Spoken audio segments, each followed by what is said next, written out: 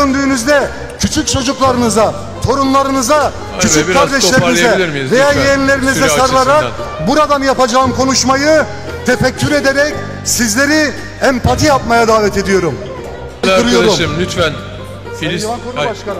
Tamam ben Beşiktaş'ın varlığının amacı rahatsız ama şimdi Filistin'le falan bizim bir, şu an Dünya- gündemimizde Biz bunu böyle yaparsanız ben taraflı bakarım bu işe. Sayın Baş- Divan Başkanı. süre Ben buradan son sözümü söyleyeyim.